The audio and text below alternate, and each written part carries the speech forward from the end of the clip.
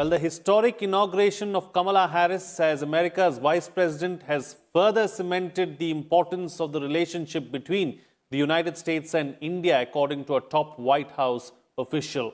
Born to a Jamaican father and an Indian mother, 56-year-old Kamala Harris made history on Wednesday when she was sworn in as the first female, first black and first Asian American US vice president.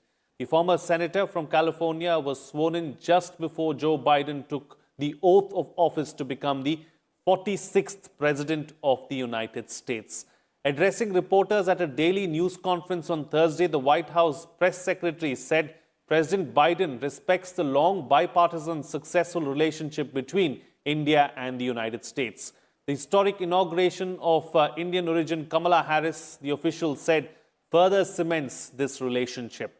In this edition of uh, India's World, we will analyze India-US ties under the Biden presidency. Joining me on the program today are Yashwant Raj, US correspondent of the Hindustan Times, Jitendranath Mishra, former ambassador, and uh, Swaran Singh, chairperson, Center for International Politics, Organization and Disarmament, JNU. Thank you to all my guests for joining me on this edition of India's World. Yashwant Raj, let me begin the program with you first. Really, what is the uh, uh, you know sense as far as the Biden administration is concerned uh, towards India? Uh, thanks for having me here, Frank, and uh, it's a pleasure to meet everyone on the panel. Uh, it's too early to see where the Biden administration will go on India because typically what happens when a new administration comes in, the first couple of months are gone are devoted to dom- domestic policy, and and Biden comes in with a at a very uh, very critical time for the U.S., which is undergoing this um, major uh, epidemic, which has been the worst hit country in the world. So that's his top priority, and the economic crisis that has come with the epidemic. So he will barely find any time for foreign policy. But of course, because of his long years in ex- you know, as, as a senator, he was very involved with the, he was chairman of the Foreign Relations Committee. So he has long experience and involvement with foreign policy. So, but there are already some signs that have begun emerging uh, uh, during uh, Blinken, you know, his nominee for Secretary of State, his his confirmation hearing. He spoke at length about India, and he also made the same point that Jen Psaki made on uh, the White House press conference about how there is bipartisan support for India, and uh, and he recounted how it, the relationship has evolved over time, uh, over different over all the uh, uh, previous administrations, and he he also pointed to uh, uh, you know that India and the U.S. could do more on climate change together. So that is one specific point he made and General and Lloyd Austin, the, who got who was confirmed yesterday for Secretary of Defense, he spoke about India's uh, uh, you know the designation of India as a major defense partner and the importance of Quad uh, going forward. So uh, there are good signs, uh, uh, and and again, just so that I don't forget, President Biden started making calls to foreign leaders, and the first was Justin Trudeau yesterday uh, the Canadian Prime Minister. And so very soon uh, he will probably also call uh, Prime Minister Modi. if you remember, Prime Minister Modi was among the first world leaders, a group of world leaders he he called to return the congratulatory messages and. So we expect something to happen on those lines, but the first few months would be mostly do- domestic and uh, and uh, mean, as, as you can tell from all the executive action orders he has issued so far. Absolutely. All right. So, uh, Ambassador, let me come, come across to you now. You know, so what are some of the telltale signs that we need to look out for really and see which direction probably the Indo-US uh, relationship will be going towards? First of all, Frank, thank you very much for inviting me for the show again. Well, the direction of the relationship is positive, and uh, there is bipartisan support, as we just heard. That's a very important point, and that's been repeated by many officials. Over the last decades, the last four presidents of the United States, whether Republican or Democrat, have followed the same set of policies broadly. And here, the direction of the relationship in the next four years will be determined by the global setting and primarily by the rise of China and the need to respond to the rise of China. And this is uh, not stated openly for obvious reasons in diplomacy, but this is going to be something always lurking in the background. And the, both the countries are abundantly aware of that. So I would argue that uh, this relationship will be determined at the strategic level. Let us start with the political and strategic level. We already have mechanisms for 2 plus 2, which is an annual meeting alternately in both the capitals. We have the defense relationship institutionalized. We have the Quad. We have a broad spectrum of issues, every global issue, climate change, counterterrorism, cyber security, outer space, everything is being discussed. When I was in the United States, we really had nothing much to say. We had to hear the Americans when I was posted there many years ago because India was not truly a power with global uh, heft and global power and influence able to influence global issues. As the External Affairs Minister has said, we want to lead. We don't want to balance anymore. So we have to take responsibilities. Now, coming to China, obviously, the Quad is very important. We don't know exactly what's happened. The Quad has a long uh, long it has taken some time to evolve into a regular dialogue at the ministerial level but we are not sure and uh, right now from our point of view china is right there up there the trade issues uh, are important and i don't think they'll be resolved uh, the differences over uh, the trade issues will be resolved human rights I think will be all right. There will be some noises made by the Americans on human rights in India. And uh, President Biden, in his campaign uh, documents, had spoken about the CAA and Kashmir.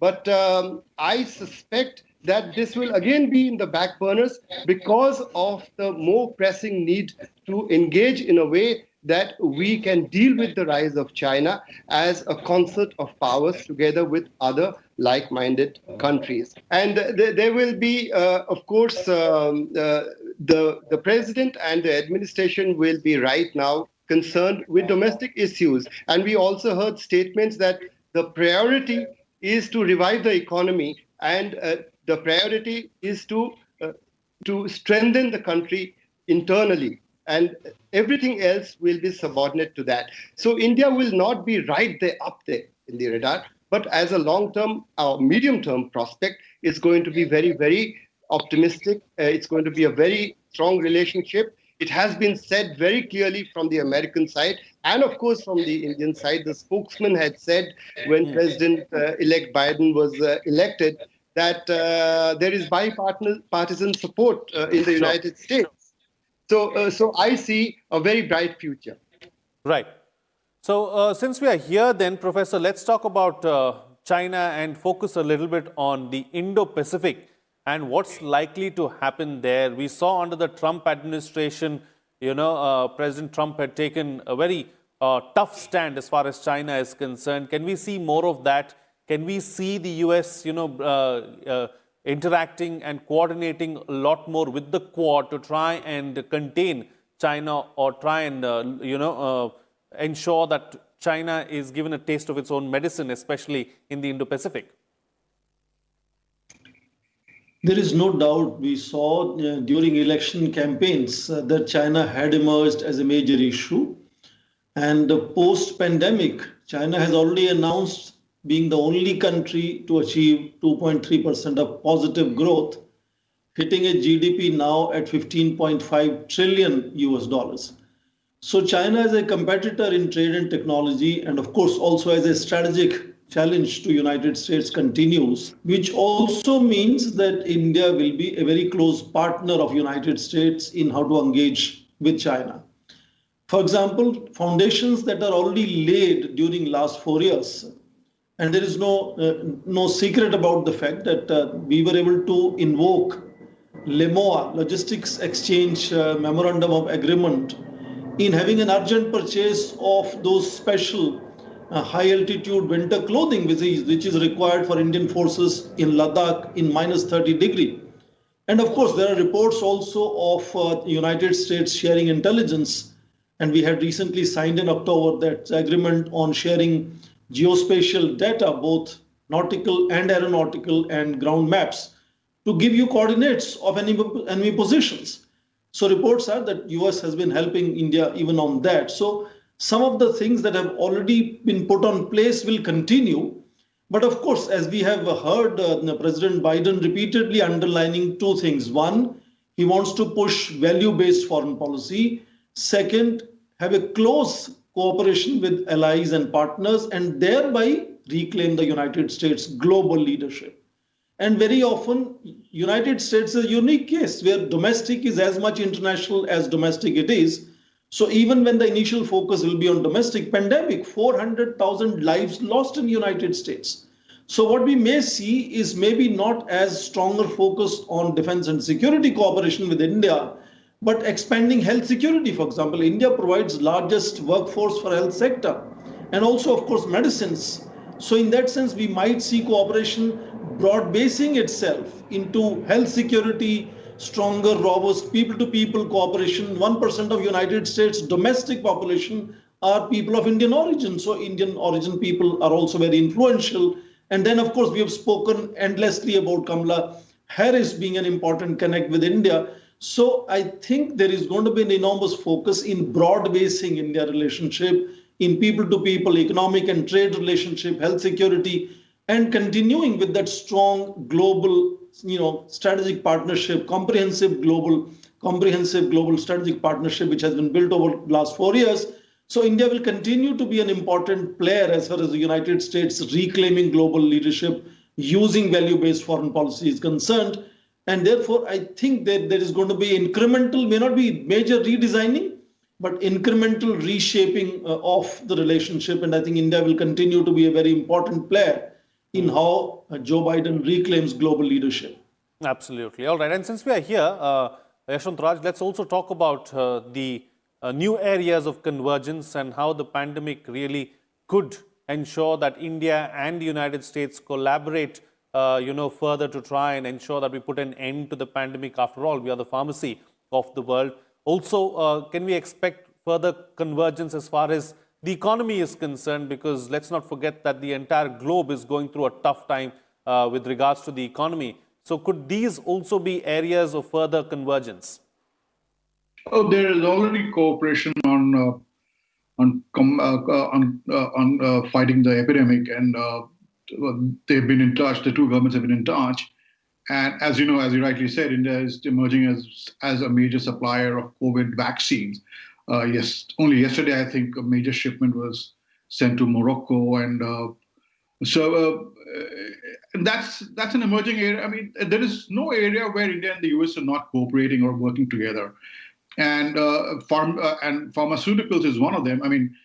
India is where a lot of American medicines are manufactured, especially the generic uh, medicines, and so that is an ongoing cooperation. And uh, on economy, uh, that's again a, it's it's it's a you know evolving story, and uh, you know now bilateral trade is worth 150 billion dollars, I think 160, uh, and uh, and I could be uh, it, it, could be more.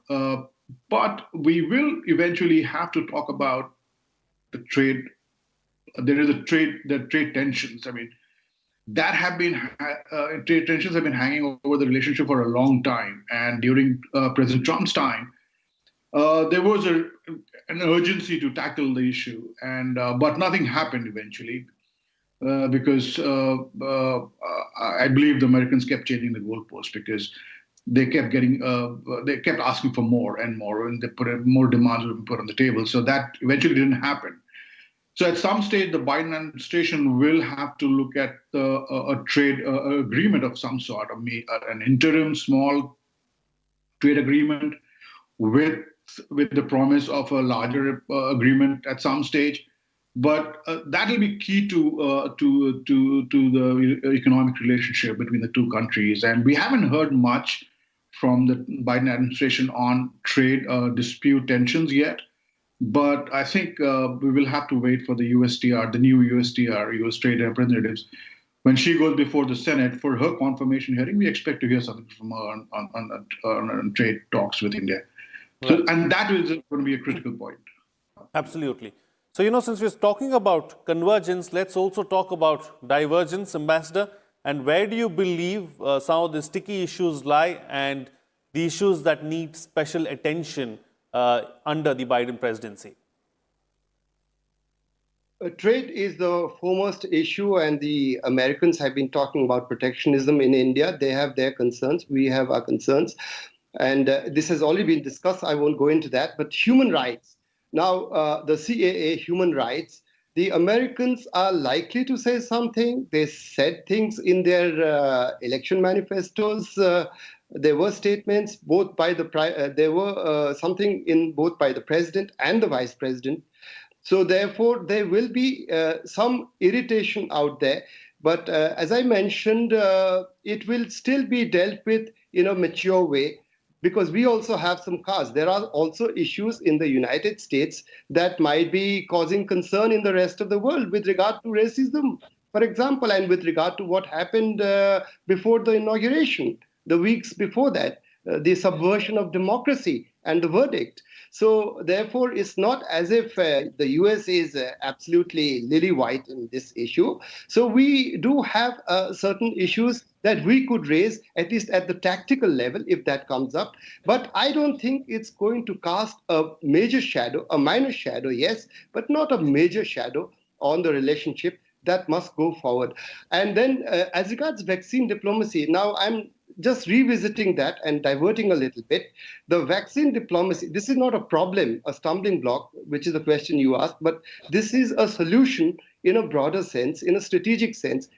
Look, the Indian uh, vaccines have found much greater acceptance so